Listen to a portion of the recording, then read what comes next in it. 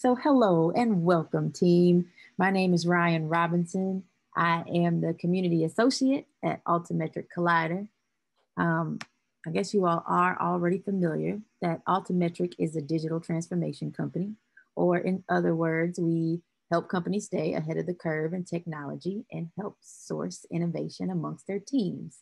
Um, today, I and myself, I mean, I and my teammate, Jacob Smith, the director of the community and the Altimetrik Collider. Um, we're excited to have our teammate Suhag Raval, a software engineer at Altimetrik, working full time at Ford Motor Company on building scalable, low latency microservices. Um, we are excited to have him here today, and we are going to explore how a platform like Microsoft Azure's Key Vault can give your apps and microservices a platform to manage secrets like database passwords, API, access keys, or anything that would be risky to hard code in your code base. Um, so Suhag, if you will, please take it away. Thanks, Ryan. Uh, hello, guys. Um, my name is Suhag Raval. I've been with uh, Altimetrik for almost three years now. Uh, currently, I'm helping Ford Motor Company to build their cloud native solutions on their electric vehicle platforms. Uh, today, we're going to explore a topic based on uh, managing application secrets in the cloud. This is kind of like a sensitive topic that I want to cover here. Uh, whether you are a developer or a system admin professional, you need to make sure that uh, you have a right tool and choice to uh, keep your environment secure application uh, need to access the configuration data in place, operate correctly. And while most configuration data is non-sensitive, some needs to be remain confidential. Uh, and these strings are like known as secrets. Well, if you're building a reliable app application, the chances are that your uh, functions required to access secrets or any other types of sensitive information you're keeping. These secrets can, can be like API keys, uh, database credentials, encryption keys, certificates, sensitive configuration settings like email address, username, debug flags, etc. And also, not to forget password. Um, there are plenty of options available in the market that you can currently leverage as a tool uh, and integrate within a system. One of the options that we that have that we have is Vault. Uh, it's provided by HashiCorp. Uh, it's an open source tool that that you can leverage. another option that we have is AWS Secret Manager uh, if your apps is, is in Azure, uh, uh AWS, then you can leverage the secret manager for that. And last but not least is Azure Key Vault. Um, it, uh, you can leverage Azure Key, Key Vault to store your secrets uh, instead of hard coding within your uh, within your code base to increase the maximum security and um, add confidentiality within your application. So to that note, let's let's move forward. Um, the, the why one of the main reason that that we want to use any type of tools like Azure Key Vault is we want to have a centralized applications centralized place to um, uh, use and access all the secrets can, which can be um, passwords or API keys or database uh, database connection strings or something like that. So instead of uh, keeping uh, keeping track of all the secrets within your application, you would have uh, centralized place where you can update, manage uh, all the secrets and credentials and certificates within your system.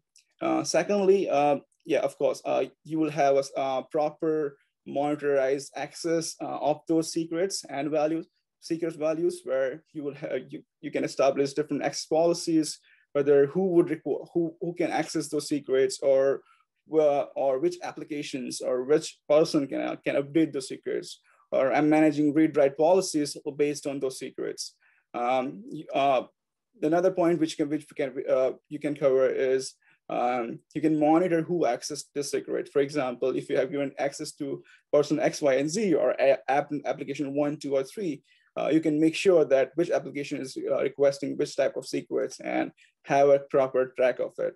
Um, and, uh, and you can also uh, uh, have some administrative policies around those secrets and certificates. Um, and last but not least, if your application uh, using is using different uh, uh, Azure services, then you can also integrate this particular key vault with those Azure services to, to make sure that you know your app is properly secured. so Azure Key Vault is a cloud service managed, uh, used to manage keys, secrets, and certificates. Key Vault basically eliminates needs to developer to store secure information in their code and allows you to centralize the storage of your application secrets without greater, greatly reduced chances of secrets when may be leaked. You know, in addition, it also provides logs. You know, uh, all access and uses uh, usage attempts of your secrets, so you have a complete audit trail for your compliances. So, like I said, you know, Azure provides three types of secret management. First, uh, secrets management, which is nothing but uh, it can be a, uh, some API keys, database strings, or it can be some access keys or pass, simple pass password, etc. Second is key management, uh, but key is can key can be nothing but like some sort of um, some sort of um, encryption keys or decryption keys, or even JWT access token, uh, which we use basically to access uh, any resources. Uh, but third and uh, third is uh, certificate management. So you can also install, like create or remove certificate uh, from um, Azure Key Vault, where you simply uh, import certificate, or even if you want to, if you want to create a new one, you can do it, and also uh, you can run access to certificate in order to in order to provide proper SSL and TLS security, which use with Azure and internal connected resources. Um, to that note, let me, let, let me explain you the authentication flow, how Azure Key Vault works internally within the system.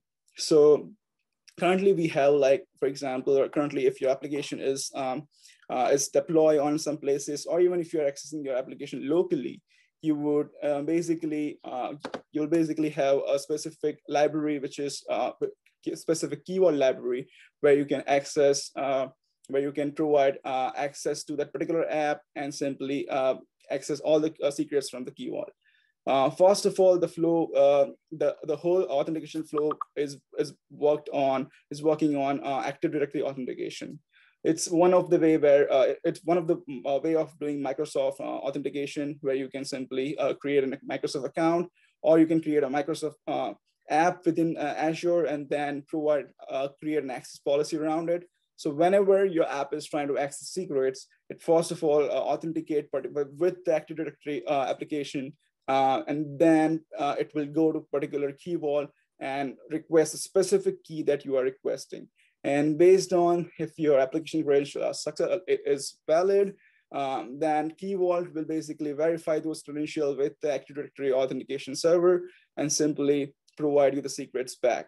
And it, it internally, it's simple, a GET request, uh, where you can also have uh, security policies and security, uh, security policy and access policies created around it and have uh, a proper authorization flow in, in, in, in place.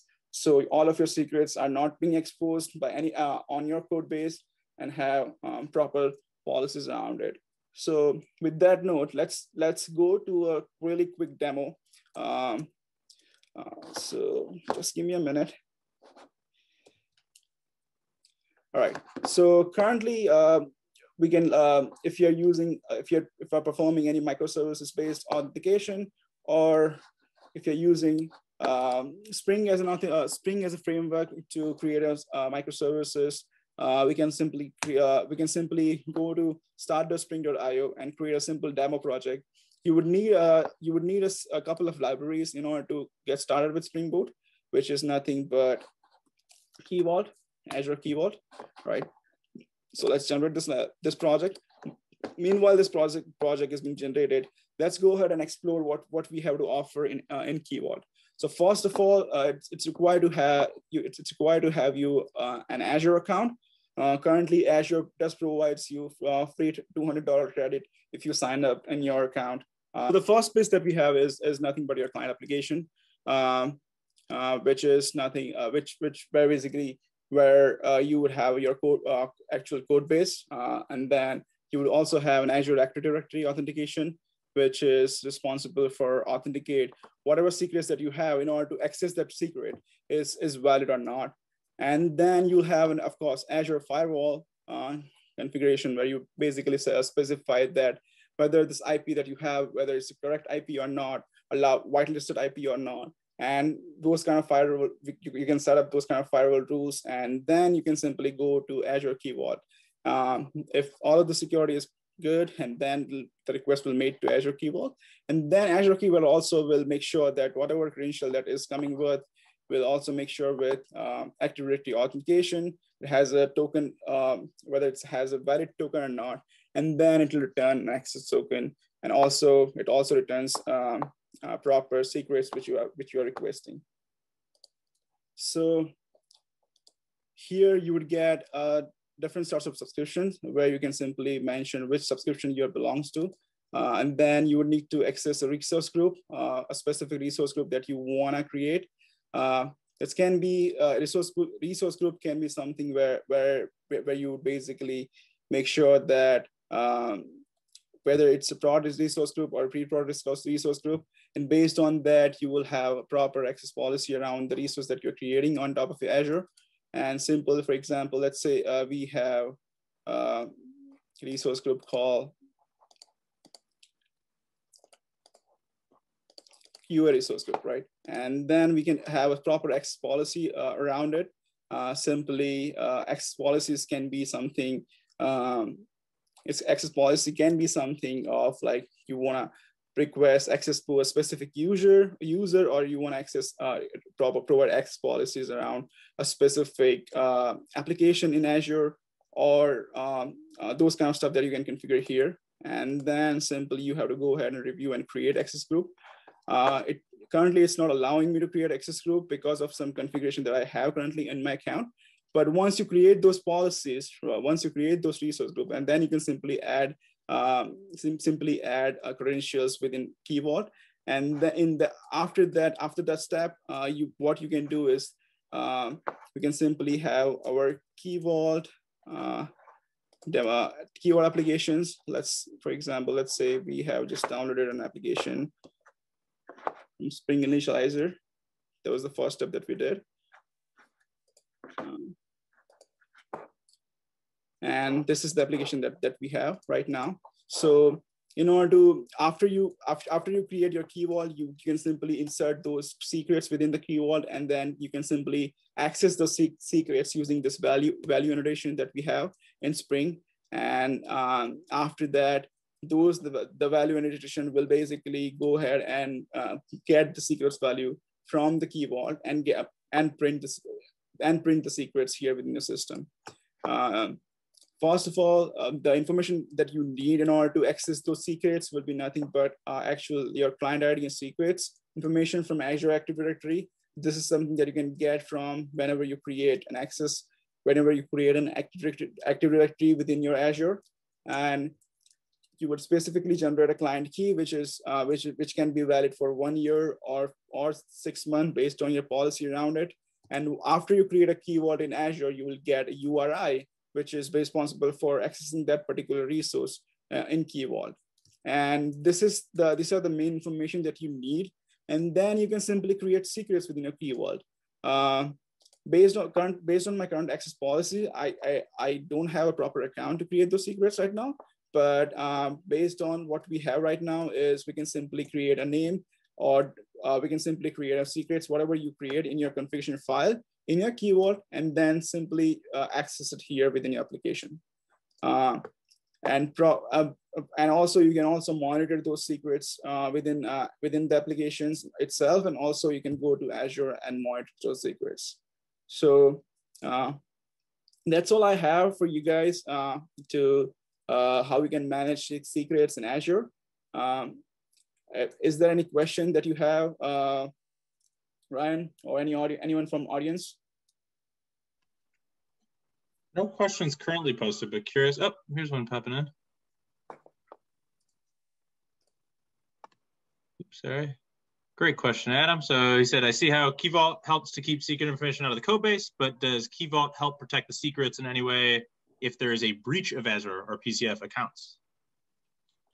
So for that, um, breach of Azure. Can you elaborate a little bit more on what kind of breach that you're talking about? You want to just explain that directly, Adam? Yeah, just if someone somehow gets access to the Azure account, does the Key Vault still protect the secrets? If some, yeah, if, if someone gets uh, gets into your Azure account, if the if the Key Vault owner doesn't have uh, uh, doesn't add you as an access pol like doesn't add you under the access policies, then you they the person won't have um, access to the Key Vault. So that doesn't necessarily mean that if you have an Azure account and if you know that secrets, then like uh, Key Vault, then you would have then you would have a specific uh, access policy around it. So it's not like uh, if you're on Azure, then you will have access to all the key vaults. You have to be a part of, uh, you, you, have to be owner, the owner of the key vault must have to add you under, uh, under the key vault access policies. And that's one of the main benefit that key vault provides where uh, you cannot really, uh, not, not, a random, not, not everyone can have, access, have access to the particular key vault, but um, the key vault administration can decide that who would want to have access. Uh, one important thing which I want to cover here is uh, like secret rotation. Um, is uh, secrets are something that we that that we basically will expire after certain days or certain months.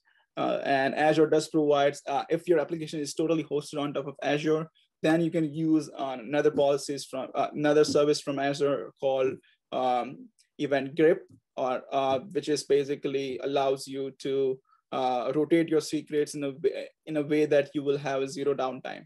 So that is something uh, definitely uh, in, that is something definitely that Azure provides that you know uh, you, your application will have zero downtime with the new secrets that you have.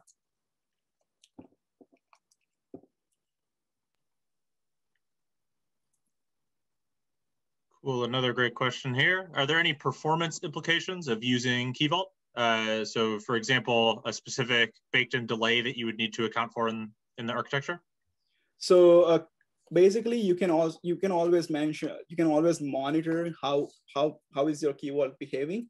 So whenever, uh, whenever you create a Key Vault, uh, Azure doesn't give you an options to choose a location where, where is your uh, application hosted, but based on um, based on based on request it's getting, it basically will cache the key vaults, key vaults value within the nearby nearby nearby region, and uh, it will basically give you uh, the minimum latency for that to accessing that particular key vault. But yeah, you can always uh, uh, key vault give you a platform to monitor those those numbers that you require to have. Uh, that, that you require to know that prior to deploying your application in, uh, in, in a specific environment. So if you know that, okay, um, it is basically, it's taking me 300 milliseconds to access this particular, that particular resource, uh, then you will, uh, you, then you can account for it. Great. And another great question from Praveen here. Does Azure Key Vault, does uh, Key Vault provide secrets mitigation, migration, excuse me. Does it provide secrets migration when moving to a different platform like AWS? So currently it, it does not provide anything like uh, if you are uh, if you if you want to move from one premises to another it doesn't provide anything because the whole access uh, because if you if it does then it has it has to integrate all the access policies between uh, azure and aws so if you my best bet my best bet would be to export all the key uh, if if you have in a situation like that then you know in order to do that you have to export all the secrets from azure and manually enter into aws so I have a follow up there. So how about for a team that is maybe using multiple cloud platforms? Is it possible to to have it work between cloud platforms simultaneously? Yeah, it, it, it's totally possible. So what you need to do in order to achieve those kind of complexity, uh, even if those, regardless of if you have a different cloud platform or like you, if you want, if you have different clients, uh, what you can do is you can create simply a different apps in Azure, treating each app as a different cloud platform and have a, have a key vault, have a proper access policies around key vault, where you would, for example, you would give cloud platform one a proper access policy for given for a specific key vault, cloud platform two a specific policy. So you can always trade. So you don't have to be fully on Azure in order to uh, start with key vault you can just have a, you can just have an Azure account, and then you can just have you can just simply uh, create a Key Vault and Azure app. So those two are important thing. You don't need to deploy on top on top of Azure. Got it. Uh, so question here, would it make sense to use Key Vault for information that isn't necessarily secure? Uh, so for things like applications, uh, uh, was that configuration settings? Yep. Um, or is it for yeah. things like API credentials? Yep. So like I was saying, right uh, here uh, for um, it does provide three types of secret management. One is secret, second is key, and third is key certificate. So you can treat secret, uh, you can add secrets, or you if you some there is something some sort of flag or some sort of configuration that that is that you want to make sure that uh, there is that that no not everyone have access to. You can put always put it into a secrets and uh, have proper access policies around it. That's cool. Got it. Any other questions, anybody? This is awesome information. Um, and Suhag, I, you were mentioning before we before the talk started that um, that you know about other platforms for for managing uh, secret data like this. Um, could you just speak at a high level, like what other um, and I apologize if you already covered that, but what other types of tools uh, are available that, that folks could look into? Definitely. So first of the two, uh, if you if if you don't want to go with uh, Azure Key Vault, you can always go for another call, open source tool called Vault. Uh, and there's an organization called HashiCorp, which is basically trying to uh, trying to like basically does provide official support for uh, Vault. So if you if, uh, you can always integrate Vault within a specific software and uh, have instead of instead of using Key Vault, you can have Vault set up for for your application locally. But definitely, you would need some sort of cloud where you can deploy that Vault and then uh, have a proper secret mechanism. And there's also AWS Identity Management System, which is also another option if your application is on top of uh, AWS. Uh, but here at Ford, uh, we are we are working all, our, all of our application currently is in uh, in Azure, and this is the best option that we can go with.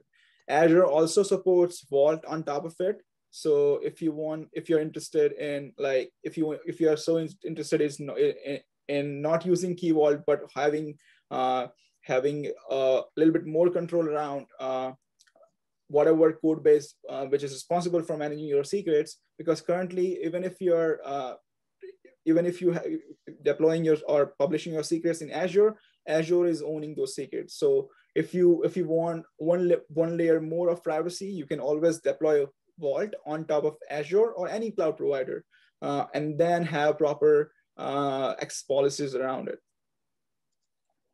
What scale would you say is, is necessary to, to kind of justify a system like this um, versus a, another more like manual uh, management system? Um, so for, for a smaller team that's managing with with maybe more basic cloud services or something um, is there kind of a point at which the, the data becomes cumbersome enough that, that a solution like this is necessary um, it's always uh, if if even if whether it's it's a small team or large team if your if if your application is being used by an end, end user uh, simple information like databases, databases, uh, database URL, client credentials, you really don't want to hard code in your code base, right? So regardless whether you are you are going with a small team or big team, you definitely need to find a tool or a platform which will uh, does this uh, secret management for you, or you can develop one for yourself. You can simply create a simple simple uh, encryptor or decryptor within your code base and provide secrets at runtime. So there are always different ways of doing things uh, I would def if if the team is small and they are not interested in investing on Azure, they can always go for Vault. Um, since Vault is an open source platform, uh, uh, you, there is not in a there is not enough uh, support available. If you need support, then you can always reach out to HashiCorp organization, which does provide supports on top of your Vault. I will also share some couple of links for you guys after uh, this uh, session uh, uh with Vault and also uh, AWS Identity Manager, which uh, which does a similar kind of work in a different way. What what like level of security does this cover? Um, like if a company, if there was a financial services provider or some, you know, that's something that required. I, I suppose Ford probably does require a very high level of security, but but how how secure is it from an encryption standpoint? So uh, secure, uh, secure, secure information can be anything, right? Like um, whatever security, like whatever information that you are storing on top of, uh, like uh, on of Key Vault, uh, Key Vault, if you don't have access to that Key Vault, if you don't have proper access policies around that particular that particular secrets that is stored being stored on a Key Vault, in that case, you won't uh, you won't able to see it. So Key Vault, like the values is, is stored on top of Azure in, in, a, in an encrypted way, and, and you can only decrypt it if you have proper access policies around it. Got it. Got it. And yeah, uh, Azure also provides, uh, you can also, there are different uh, tools that are available. For example, uh, currently, uh, there, there are different client libraries that can use uh, Azure CLI, PowerShell, if your code is on top .NET or Node.js or even Python, you know, and of course Java. So there are client libraries available right now in the market where you, on, on the platform where you can simply download it and have, just like I mentioned here, do this credential study uh, and uh, simply you can access those uh, resources. So you don't need to write a really hard-coded code to access those resources. Like I was mentioning in Spring, you can simply just use value annotation. If you if you don't want to use a Spring framework, then you can have Azure Java client library which uh, which in in, the, in, in which case you have to do all the step authentication receive a token get secret token um, and this will be covered by like Azure Key Vault to Azure Active Directory will be covered by um, Azure itself, but you have to do step one, two, and three, and uh, one, two, and three. But if you're using any framework like Spring, all you have to do is configure those parameters within your application or config file uh, and simply uh, use value annotation in order to access those key vaults. And framework will do that for you. Awesome.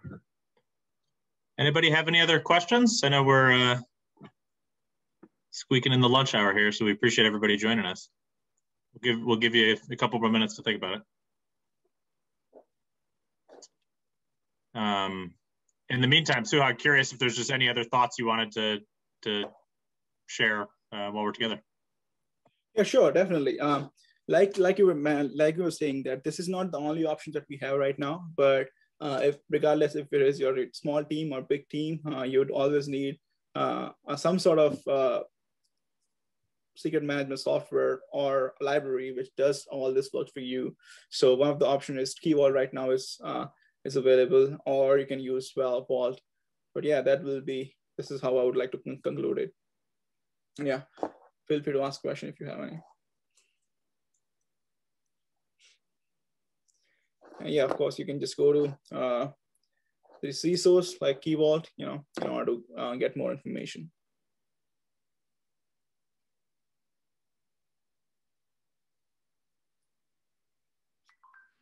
All right. Well, um, thank you so much, Suhag. With that said, that concludes our discussion, Managing Secrets in the Cloud with Suhag Raval. Um, once again, we thank you so much for sharing such awesome expertise and knowledge, per usual, coming from our Altimetrik team. Um, and teaming up with you all and you has been a pleasure in particular. But um, yeah, we just continue to look forward to more talks like these. Um, everyone, we will be posting this video on our YouTube channel, and we strongly encourage everyone to follow us, connect with us, tune in for more events in the future. Um, yeah, so thank you all for coming. Uh, we will follow up via email with a post event survey as well as our YouTube link. Um, so the Altimetrik Collider team thanks everyone for taking the time out of your day to hang and learn out and learn with us. And have a great afternoon, everyone.